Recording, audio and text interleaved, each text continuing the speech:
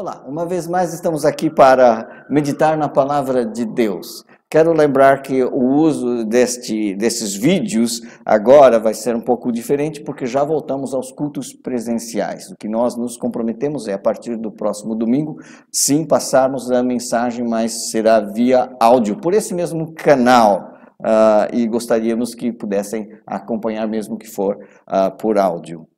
Hoje, 31 de outubro, ah, passados 504 anos, ainda sentimos ah, o eco deste movimento que ah, é assinalado por 31 de outubro.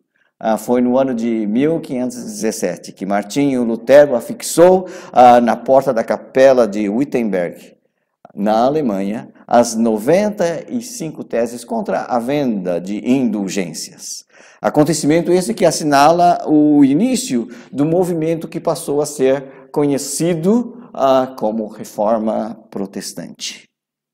Ah, nós somos batistas, não estamos diretamente ligados à reforma, mas de alguma maneira ah, Alguns historiadores relacionam os batistas à reforma porque eh, os batistas modernos tiveram a sua origem, segundo alguns, eh, entre os separatistas puritanos britânicos. E embora também muitos batistas dizem que não, que os batistas têm origem nas igrejas do Novo Testamento. O que nos parece inegável e é consenso entre nós batistas é que nós também defendemos e nos identificamos com os princípios defendidos pela, pela reforma ou pelos reformadores.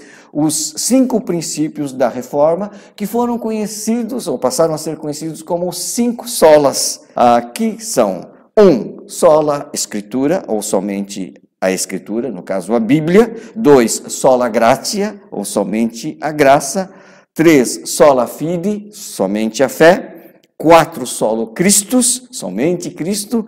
E cinco, soli Deo, glória, glória somente a Deus. Esses cinco princípios nós entendemos que podemos nos identificar com eles porque eles estão claramente embasados na Sagrada Escritura. Veja, por exemplo, só a Escritura, somente a Escritura.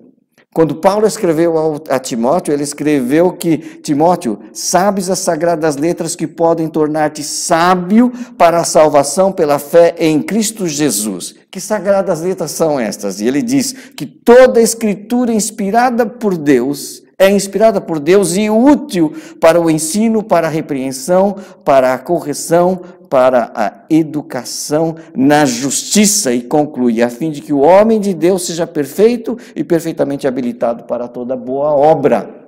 Não é? Lá em 2 Timóteo 3, 15 a 17. Nós cremos firmemente que este livro contém tudo o que é necessário para uma vida com Deus e para nós sermos salvos pela fé em Cristo Jesus. Nós cremos firmemente que este livro não é um livro qualquer. Ele, ele foi escrito por homens que foram divinamente inspirados por Deus. Portanto, não é uma fábula, eh, não é, não é um mito, mas é a revelação escrita da vontade de Deus para cada um de nós. Um, nós cremos que Deus ele se revelou, Deus ele inspirou os autores humanos a escreverem, cada um no seu contexto, com o seu estilo e a sua cultura. Mas o conteúdo deste livro é a palavra inspirada de Deus. E como palavra de Deus é autoridade, é a última e a única autoridade e a máxima autoridade em termos da nossa fé e da nossa prática. Neste livro baseia-se toda a nossa cosmovisão, toda a nossa fé e a forma de nos conduzirmos na nossa vida. Este livro revela o segundo sola, somente a graça. Ah, Paulo também escreveu em Efésios 2, 8 a 10, porque pela graça sois salvos, mediante a fé.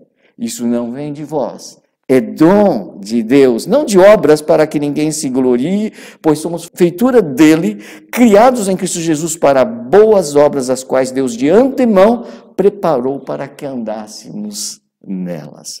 Graça é um conceito muito bonito. Graça é o favor, é a mercê de Deus, é o favor imerecido. Nós não merecemos, mas Ele graciosamente nos dá. É pela graça que nós somos salvos por meio da fé. Então, é claro que não vem de nós, não é nosso esforço, não é nossa obra, não é nossa piedade, não é nossa penitência. Não. Não é o nosso esforço religioso, mas é graça, é uma dádiva que vem de Deus, é um dom, é um presente. Não é de obras, eu não posso me orgulhar. Não. Eu tenho que me humilhar e aceitar essa dádiva como presente de amor de Deus para mim, não é? Ah, não é de obras. Mas o texto termina que ah, nós somos feituras dele, criados em Cristo Jesus para boas obras. As boas obras não são a causa da minha salvação. Eu sou salvo pela graça, mas aí estou, estou então capacitado a fazer boas obras que foram preparadas de antemão ah, para que eu ande nelas. As obras, as boas obras, são consequência e não causa da salvação. Elas acompanham a salvação, mas a salvação é única e exclusivamente pela graça. Sola gratia, somente a graça de Deus. Sola fide, somente a fé. Paulo escreveu em Romanos 3, 28, após uma argumentação, concluímos, pois, que o homem é justificado pela fé. E depois em Romanos 5, 1 diz: Justificados, pois, mediante a fé, tenhamos paz com Deus por meio de, nosso Senhor Jesus Cristo. É a fé que nos leva a sermos justificados, não é? é justificado pela fé. Mas fé, ela é direcionada para uma pessoa e um facto correto. Então, somente a fé, mas a fé tem que repousar no lugar certo. E aí vem a quarta sola, solo Christus, somente Cristo, somente pela, pela graça, somente pela fé, mas a fé em quem? Somente Cristo. E não há salvação, diz Atos 4,12, e não há salvação em nenhum outro. Veja bem, nenhum outro. Porque abaixo do céu não há nenhum outro nome dado entre os homens pelo qual importa que sejamos salvos. Atos 4,12. E depois reforçado por Paulo em 1 de Timóteo 2,5, porquanto há um só Deus e um só mediador entre Deus e os homens Cristo Jesus, homem. Você vê, ah, nenhum outro, é a expressão que está em Atos, nenhum outro nome, e depois, só um mediador entre Deus e os homens. Só Cristo. Por que só Cristo? Porque nenhum outro homem poderia conseguir fazer o que Jesus Cristo fez, ser o mediador. Né? A gente fala de religião, mas religião vem do religar. Quem religa o homem ao Criador? Um homem pecador e caído. Somente Cristo, por sua morte e ressurreição. Lembro bem de algo que me foi ensinado: que, mesmo que eu, com piedade, ou qualquer pessoa piedosa, morresse na cruz, não poderia granjear nem a sua própria salvação, porque todos pecaram e estão destituídos da glória de Deus. Só Jesus foi a única pessoa neste mundo que não pecou. Portanto, ele é o sacrifício perfeito como propiciação pelos nossos pecados. Já dizia o Evangelho de João, quando João Batista, descrevendo João Batista, quando ouviu Jesus e apontou: Eis o Cordeiro de Deus, o Cordeiro que tira o pecado do mundo. Por quê? É um cordeiro sem mácula e sem defeito, cujo sacrifício foi aceite por Deus. Então, só o Cristo, somente Cristo salva. E o cinco, só lhe deu glória. Glória somente a Deus, não é? Só lhe deu glória. Eu sou o Senhor, este é o meu nome. A minha glória não darei a outra, e nem a minha honra às imagens de escultura. Isaías 42, 8. Porque dele e por meio dele, para ele são todas as coisas a ele, pois a glória eternamente. Amém. Romanos 11, 36. Só a Deus a glória. E realmente esses cinco solas estão claramente, como eu li aqui, baseados na Sagrada Escritura. A glória deve ser dirigida somente a Deus, não a homens, não às instituições.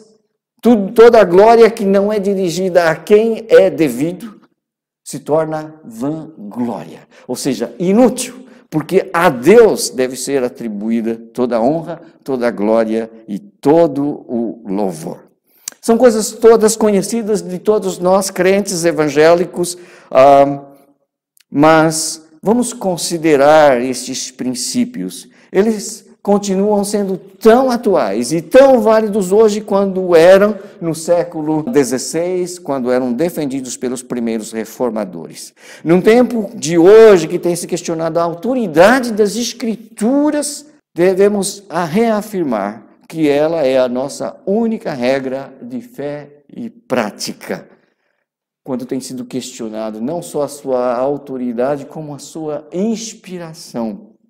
Não, ela é a palavra de Deus inspirada e que, portanto, tem autoridade profética sobre as nossas vidas. Assim diz o Senhor. Então, esta é a autoridade que tem a Sagrada Escritura na minha vida. E o seu conteúdo é suficiente para conduzir-nos a uma vida de fé em Jesus, a uma vida piedosa, a uma vida cheia de significado e esperança. Ela molda a nossa cosmovisão, os nossos valores e solidifica as nossas instituições.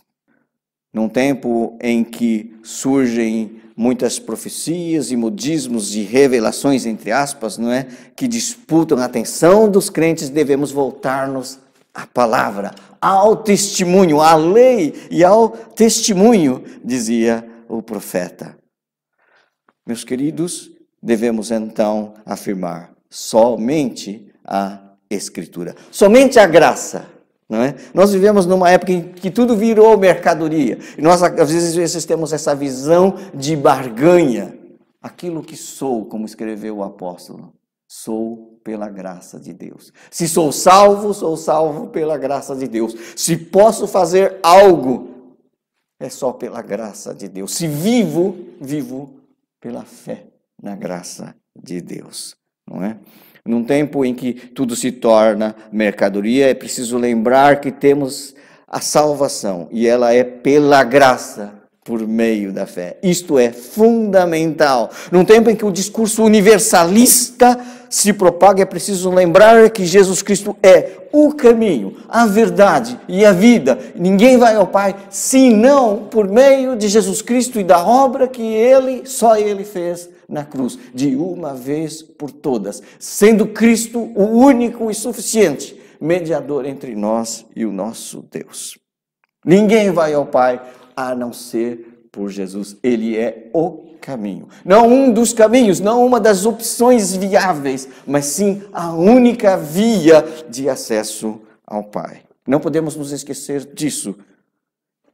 Ele é o caminho único e exclusivo. Num tempo em que o culto à personalidade, as ideologias, ao materialismo hedonista querem ocupar o lugar da centralidade de Deus, inclusive na na vida eclesiástica, nós devemos declarar que a glória é devida somente a Deus.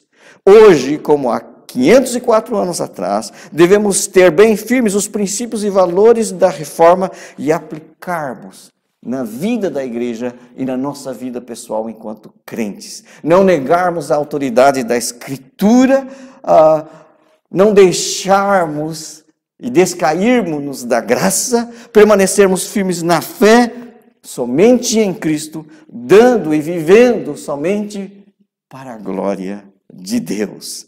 As igrejas herdeiras da reforma precisam ah, reavivar os valores dos seus princípios, do seu legado nos dias de hoje, porque esta palavra é a palavra eterna. Assim, hoje, quando celebramos os 504 anos da reforma, reafirmamos somente a Escritura, somente a graça, somente a fé, somente a Cristo e somente a Deus toda a honra, toda a glória e todo o louvor. Que Deus te abençoe.